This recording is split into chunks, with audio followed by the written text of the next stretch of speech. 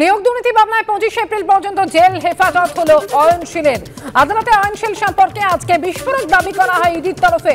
রাজ্য সরকারের urban development বিভাগের আধিকারিকের মেয়ের সঙ্গে পার্টনারশিপ ছিল অয়নের ছেলের এবং সেই পার্টনারশিপের মাধ্যমে নিয়োগ দুর্নীতি টাকা নয় ছয় করা হয়েছে বলে আজকে ইডি দাবি করে আদালতে।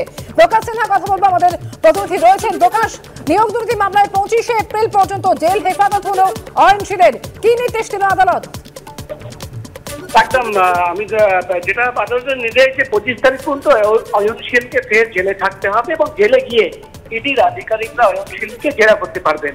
তুমি জানো, আজকে ইডির আইজিপি তরফে বিস্ফোরক তথ্য পেশ করা হয়। একজন সরকারি আধিকারিক আরবান ডেভেলপমেন্ট ডিপার্টমেন্টের একজন জয়েন্ট ডাইরেক্টর বিভাস গাঙ্গুলি তার সঙ্গে তার ছেলে তার- মেয়ের সঙ্গে অয়নশীলের ছেলে একটি পার্টনারশিপ ফর্ম পাওয়া গেছে এবং সেই পার্টনারশিপ ফর্মের মাধ্যমেই কিন্তু টাকা নয় ছয় করা হয়েছে, এমনই দাবি কিন্তু ইডি তরফে করা হয় এবং সেই ফার্মের নামে একটি পেট্রোল পাম্প রয়েছে, সেটাও খতিয়ে রাখা হবে এবং ইডির আইসিপির তরফে সওয়াল করা হয় যে এই আধিকারিক, সরকারি আধিকারিকের ভূমিকাও কিন্তু আমরা খতিয়ে দেখছি, তার জন্য একাধিক ব্যক্তিদের জেরার প্রয়োজন রয়েছে এবং ইডি সূত্রের খবর আগামী সপ্তাহে অয়নশীলের স্ত্রী কাকলি শীল তার বান্ধবী শ্বেতা চক্রবর্তী এবং তার হ্যাঁ, ছেলে অভিষেক শীল তিনজনকেই তলব করা হয়েছে। তাদের জিজ্ঞাসাবাদ করা হবে এবং সমস্ত যে প্রশ্নের উত্তর রয়েছে তাদের কাছ থেকে জানতে চাইবেন ইডির আধিকারিকরা। ধন্যবাদ প্রকাশ। সুপ্রিম কোর্টে স্বস্তি আইনজীবী সঞ্জয় বসুর অযথা তাকে ডেকে পাঠিয়ে হয়রানি করা যাবে না। জানিয়ে দিল সুপ্রিম কোর্ট। কোনো ভিত্তি ছাড়া তার বাড়ি, অফিসে তল্লাশি চালানো যাবে না। কোনো জিনিস বাজেয়াপ্ত করা যাবে না। মূল মামলা শুনানির জন্য হাইকোর্টে ফেরত পাঠালো সুপ্রিম কোর্ট। কলকাতা হাইকোর্টের বিচারপতি ইন্দ্রপ্রসন্ন মুখোপাধ্যায়ের নির্দেশনামা নির্দিষ্ট অংশ খারিজ করে দিল সুপ্রিম কোর্ট। এ বিষয়ে আরও জানব সৌভিক মজুমদার। প্রথম থেকে এই মুহূর্তে টেলিফোনে রয়েছেন আমাদের সঙ্গে। সৌভিক অর্থাৎ মূল মামলা শুনানির জন্য হাইকোর্টে ফেরত পাঠিয়ে দিল সুপ্রিম কোর্ট। এই মামলায় সুপ্রিম কোর্ট আজকে আর কি কি জানিয়েছে?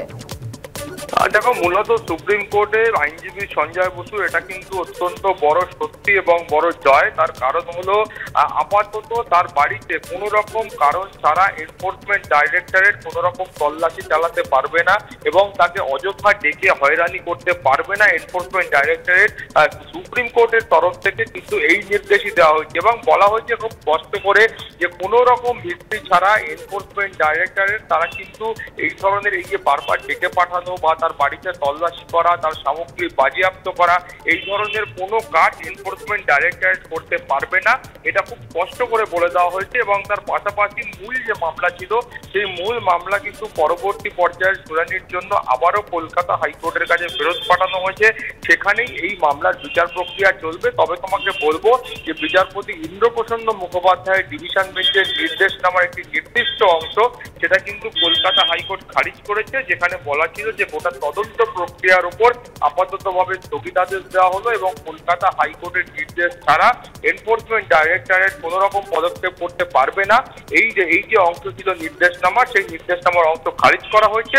কিন্তু সামগ্রিকভাবে সুপ্রিম কোর্টে আজকে আইনজীবী সঞ্জয় বসুর পক্ষে এটা অত্যন্ত স্বস্তির। আহ, কোনো রকম কারণ ছাড়া এবং কোনো ভিত্তি ছাড়া তাকে জিজ্ঞাসাবাদ করা সমন পাঠিয়ে ডেকে পাঠানো তল্লাশি চালানো জিনিস বাজেয়াপ্ত করা এই ধরনের কোনো কাজ এনফোর্সমেন্ট ডাইরেক্টরেট করতে পারবে না। অমৃতা। ধন্যবাদ, সৌভিক।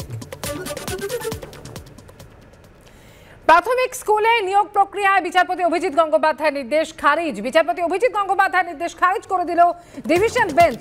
উনত্রিশে সেপ্টেম্বর দু হাজার বাইশ সালে প্রাথমিক শিক্ষা পর্ষদ যে বিজ্ঞপ্তি দিয়েছিল তা খারিজ। টেট উত্তীর্ণ যে প্রার্থীরা ডিএলএড প্রশিক্ষণে ভর্তি হয়েছেন, তারা নিয়োগ প্রক্রিয়ায় অংশ নিতে পারবেন? চলতি নিয়োগ প্রক্রিয়া অংশ নিতে পারবেন বলে বিজ্ঞপ্তি জারি করে পর্ষদ।